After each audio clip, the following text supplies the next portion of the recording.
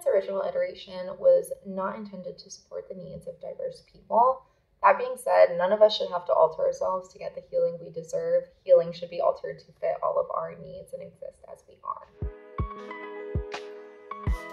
One of the unique challenges is that therapy used to and sometimes still does promote self reliance as a healing objective. That being said, a lot of us grew up in multi generational households with our abuelas, abuelos, tios, primos, madrinas, and so many other people.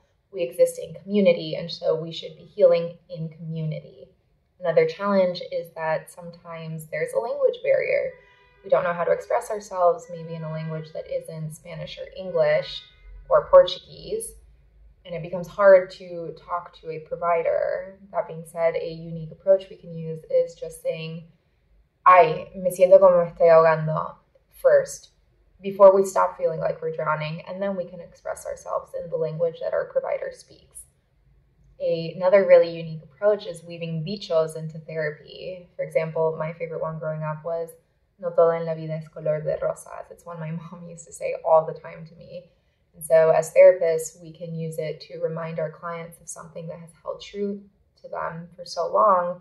Or as clients, we can use it to express ourselves if we don't really know how else to express a sentiment.